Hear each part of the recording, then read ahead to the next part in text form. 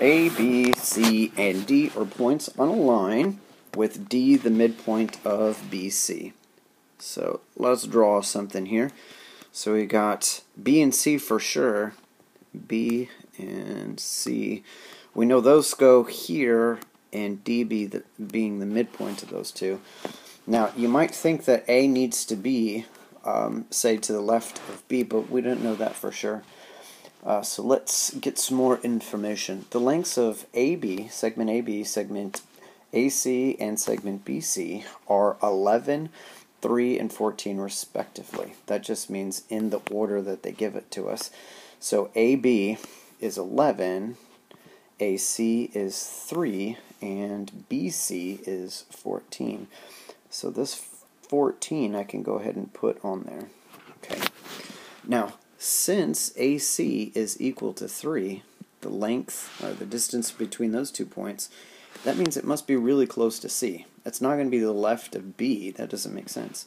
So it's going to be one and two of two places. Here, let me switch colors real quick. Right.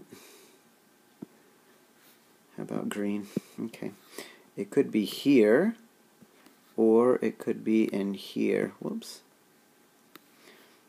one of these two places. Okay, so let's see which one of these might make sense. So AC is 3. I'll put a 3 here and put a 3 here. Okay.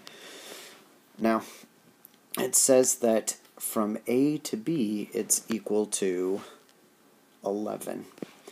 So if this piece right here is 14 and we keep going out, and this is supposed to be 3 more, that's got to be 17.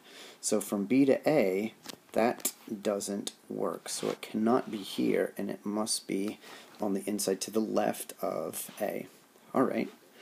So now, finally, um, let's see, what is AD? To get AD, we know that each one of these pieces is 7 because that midpoint cuts that segment in half. This one's also 7.